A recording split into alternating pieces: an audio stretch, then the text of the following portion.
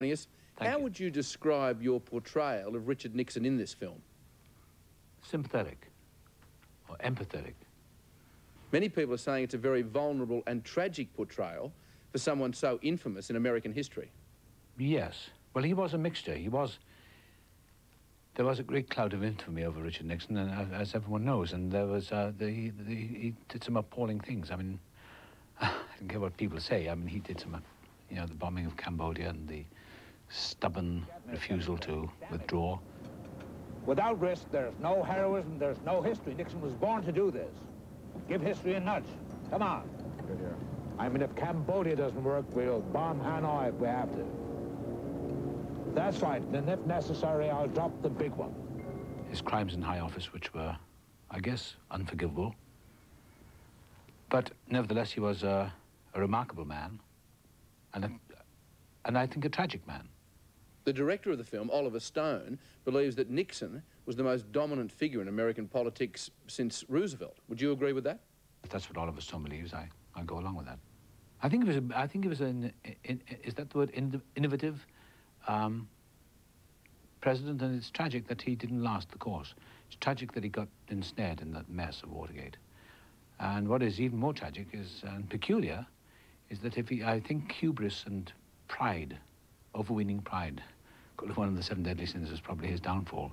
If he could have only gone on television and apologized and for Watergate and admitting the scandal, admitting the mess, he probably would have saved his presidency and not brought it into infamy, which he did. How much historical and technical assistance did you receive from Nixon's former White House staff? Well, John Dean was present uh, some of the time.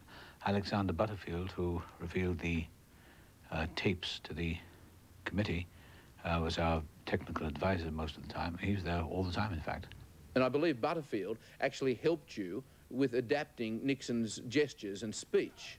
What happened was I came in, we, we had a photo session for, on the Friday afternoon before first principal photography, and I walked into the white into the Oval Office, and you know, being an actor, I responded to it, the atmosphere, and I responded to what I was wearing, and I did the the uh, Nixon slouch or the Nixon hunch, and and uh, Butterfield said, "That's it, you've got him." How do you compare the preparation for this difficult role for Nixon with other roles you've had?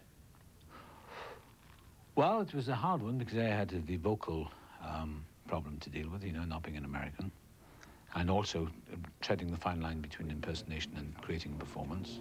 Beneath her, Dick.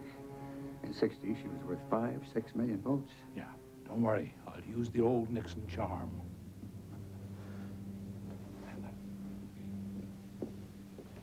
Who could resist that?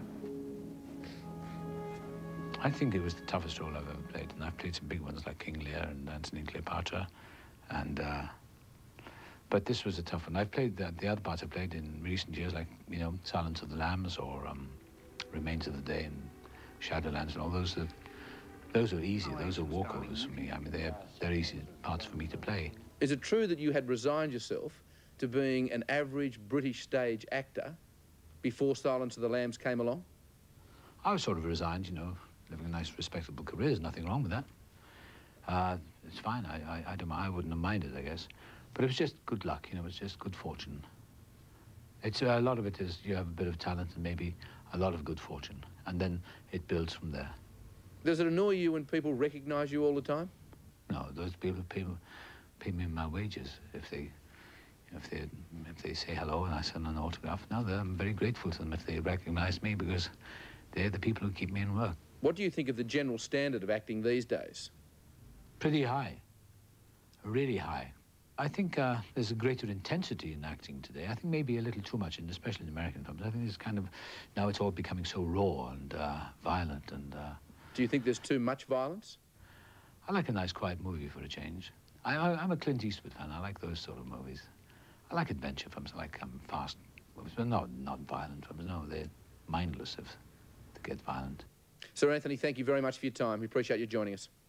Thank you.